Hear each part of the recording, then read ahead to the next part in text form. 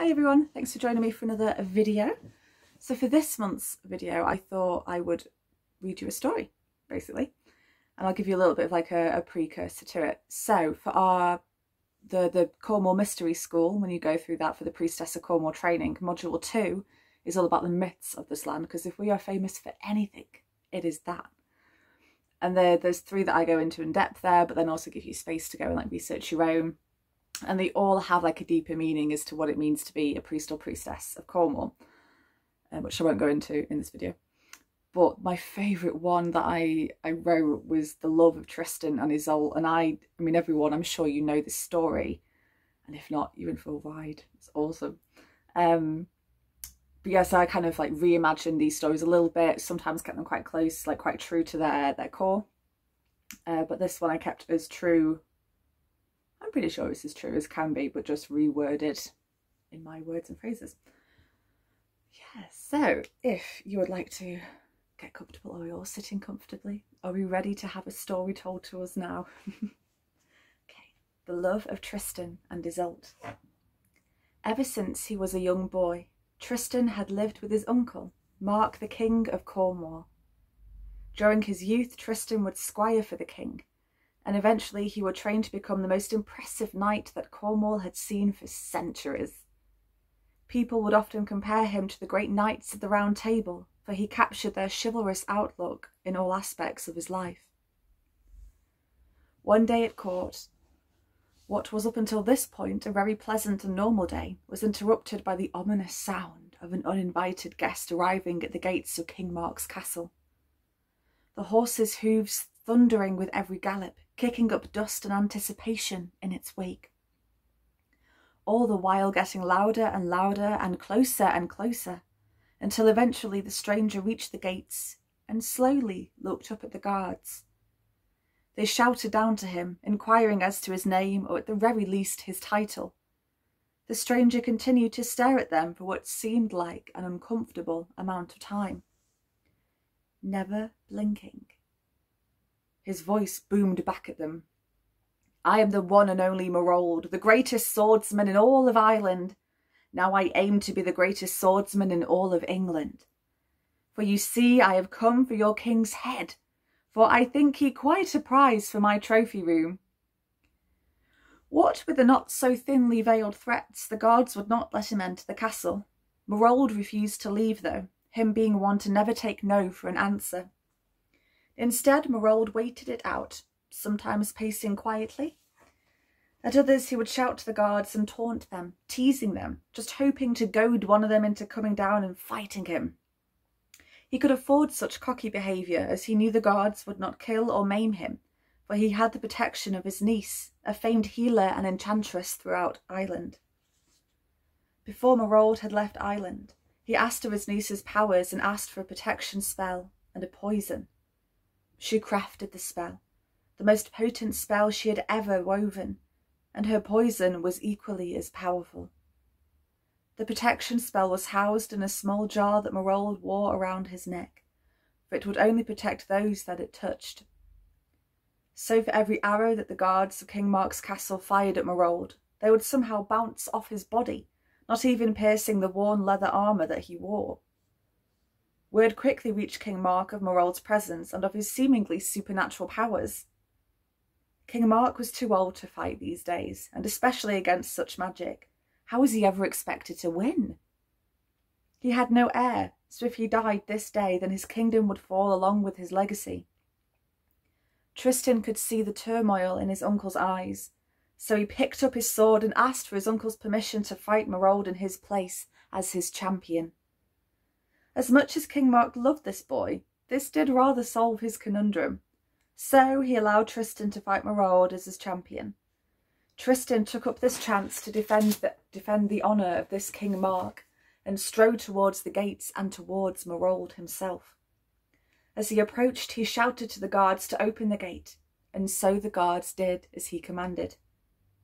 Tristan was now face to face with the dreaded Maraud. Morold noticing that this young man was not in fact the old king he had requested, was instantly angered.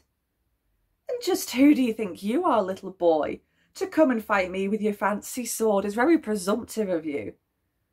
Where is the old man and his crown? Morold shouted.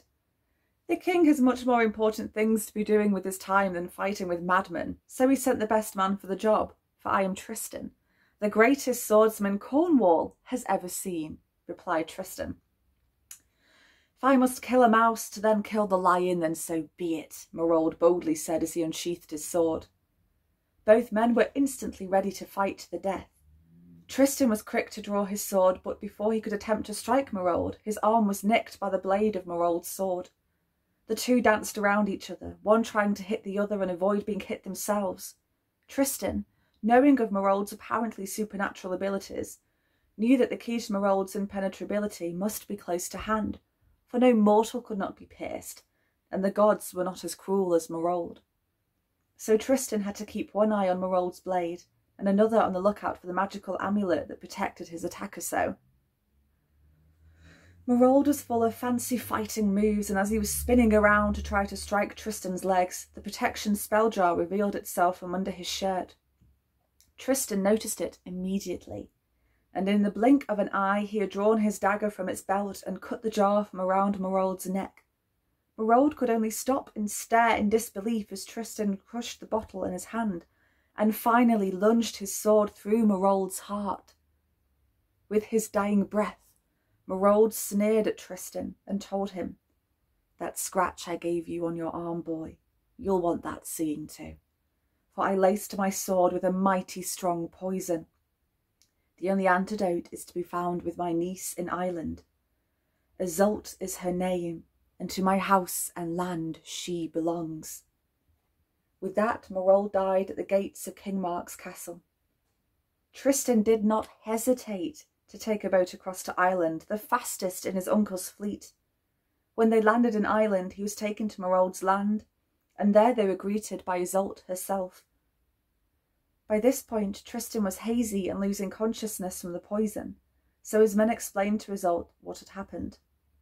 Iseult, so it seemed, was glad to hear of her uncle's death, for he was a brute to her and kept her locked on his land, so she had never seen anything other than the barren land and cold stronghold that belonged to Morold.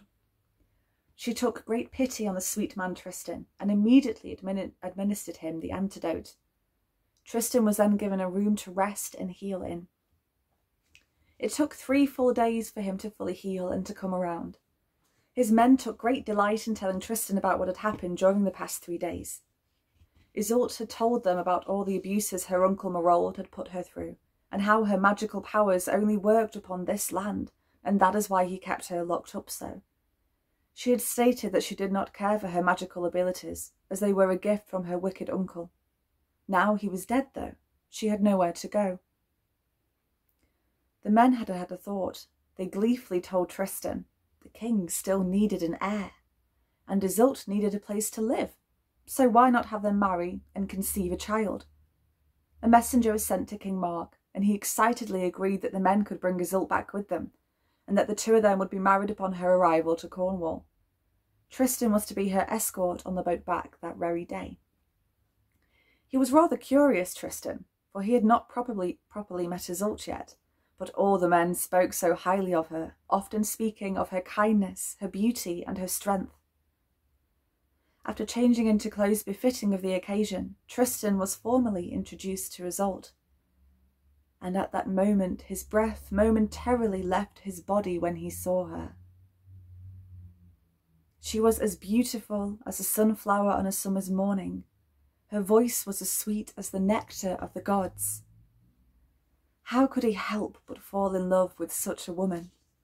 Little did he know that whilst he was falling in love with Iseult, she too was falling deeply in love with him. She had noticed his eyes first, and how the hazel colours in them deepened in the light.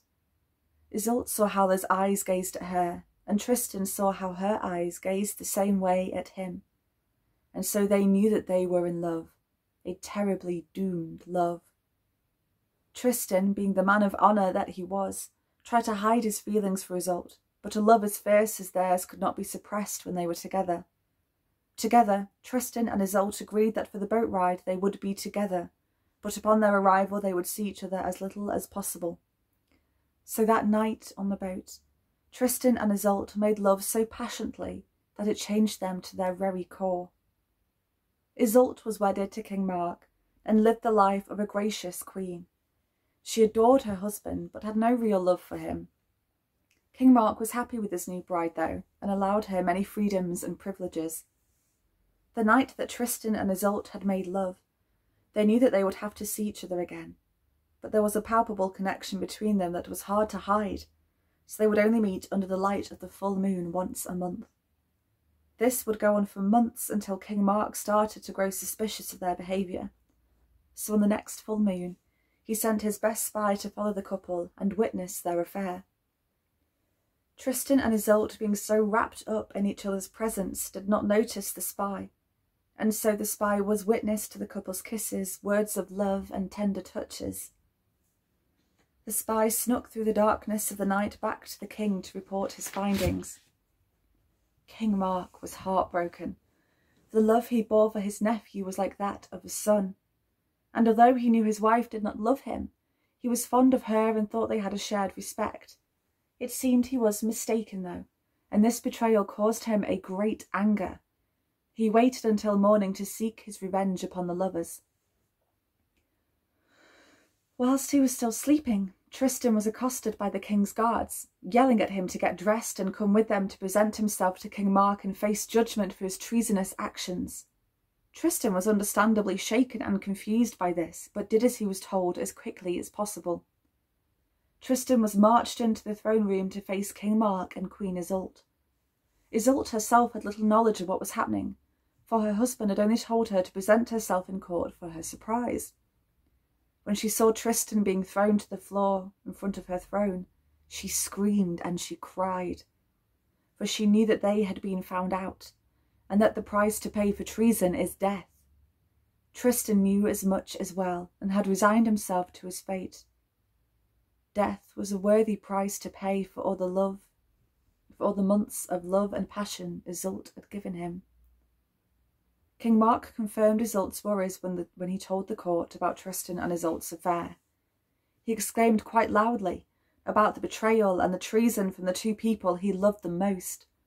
Eventually, after his anger had run its course, King Mark declared that Tristan was to be executed by beheading, and that it was to happen right now and in this very throne room. Tristan was pushed to his knees before his queen, the woman he loved so very much. And just before the executioner's sword touched his throat, he said to her, I will love you even beyond death, and in death is where she, we shall find, find each other again.